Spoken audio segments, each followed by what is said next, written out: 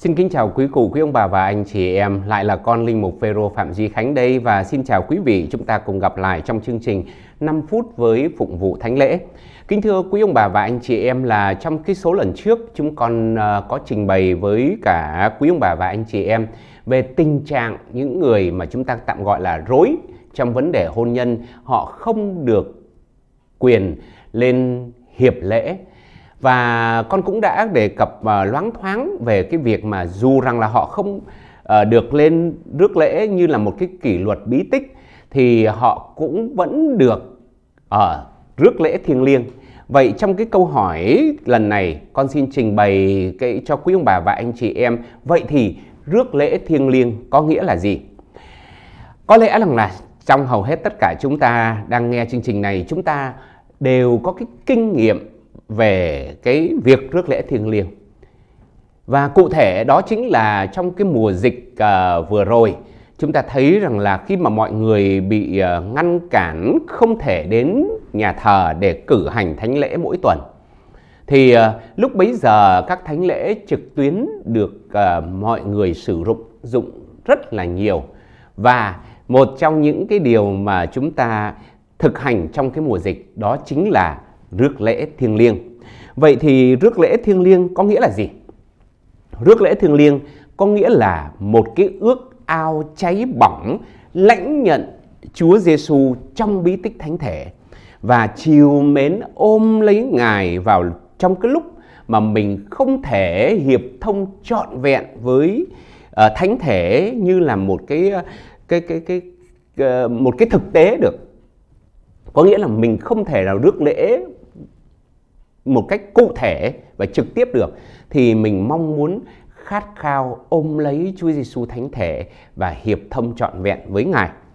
Và uh, theo Thánh Thomas Aquino thì có hai trường hợp sau đây thì có thể rước lễ thiêng liêng. Đó chính là một trường hợp thứ nhất đó là để chuẩn bị cho việc tiến đến bản thánh và lãnh nhận thánh thể trong tương lai. Có nghĩa là bây giờ mình không thể rước lễ được. Ví dụ như rằng là mỗi ngày uh, quý ông bà và anh chị em uh, chúng ta đi tham dự thánh lễ buổi chiều chẳng hạn. Nhưng mà buổi sáng bây giờ mình cũng mong muốn được kết hợp với Chúa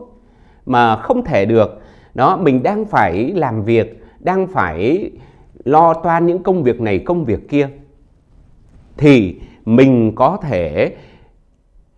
được rước lễ thiêng liêng với cái sự khát khao, với sự chuẩn bị và với những cái lời nguyện của mình. Đó là cái trường hợp thứ nhất, trường hợp tiến đến bàn thánh trong tương lai để đón nhận uh, mình Thánh Chúa Kitô. Trường hợp thứ hai đó chính là những người không thể rước lễ bí tích, có nghĩa là không thể rước lễ được do ngăn trở về thể lý hoặc là già yếu hoặc là đau bệnh hoặc là luân lý có nghĩa rằng là bị tội trọng, bị mắc vạ tuyệt thông hoặc là mắc một cái hình phạt giáo luật như là con đã thưa với cả quý ông bà và anh chị em. Những anh chị em mà đang bị rối trong bí tích uh, trong bí tích hôn nhân uh, thì không thể. Rồi hoặc là một người nào đó không thể uh, không giữ chay thánh thể. Có nghĩa rằng là ngay trước đó họ đi lễ nhưng mà họ đã dùng một cái gì đó họ không thể lên rước lễ được thì họ cũng có thể rước lễ thiêng liêng hay là hoàn cảnh do chiến tranh hay là dịch bệnh và bị bách hại.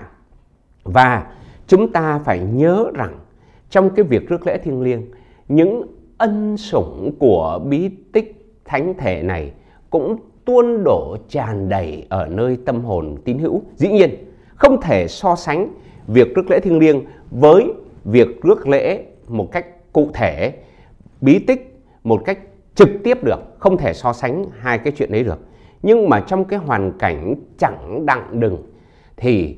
nguyên cái việc rước lễ thiêng liêng cũng mang lại ân sủng của bí tích thánh thể cho những người sẵn lòng đón nhận Chúa Kitô thánh thể bằng việc rước lễ thiêng liêng.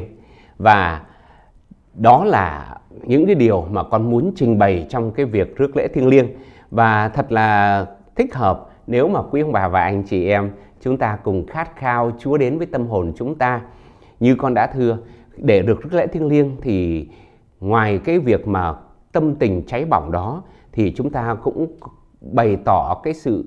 uh, khát khao của chúng ta qua những cái lời nguyện có thể là tự phát hoặc là những cái lời nguyện mà giáo hội soạn sẵn. Nhân đây thì xin mời quý ông bà và anh chị em chúng ta cùng đọc lại kinh Đức lễ thiêng liêng như là một cái sự ước muốn của quý ông bà và anh chị em và cả con nữa trong việc xin Chúa Thánh Thể, Chúa Giêsu Thánh Thể ngự vào tâm hồn của chúng ta. Lạy Đức Chúa Giêsu, con tin thật Chúa ngự trong phép mình thánh. Con kính mến Chúa trên hết mọi sự, cùng ước ao chịu lấy Chúa trong linh hồn con. Xong lẽ bởi vì bây giờ con chẳng có thể mà chịu Chúa cho thật được, thì xin Chúa ngự vào linh hồn con cách thiêng liêng vậy. Chẳng khác gì như Chúa đã ngự vào thật, thì con xin âm lấy, cùng hợp làm một cùng Chúa cho chọn. Xin Chúa chớ để cho con lìa bỏ Chúa bao giờ. Xin cảm ơn tất cả quý ông bà và anh chị em đã theo dõi chương trình và xin hẹn gặp lại quý vị trong chương trình lần tới. Thân ái và chào tạm biệt quý vị.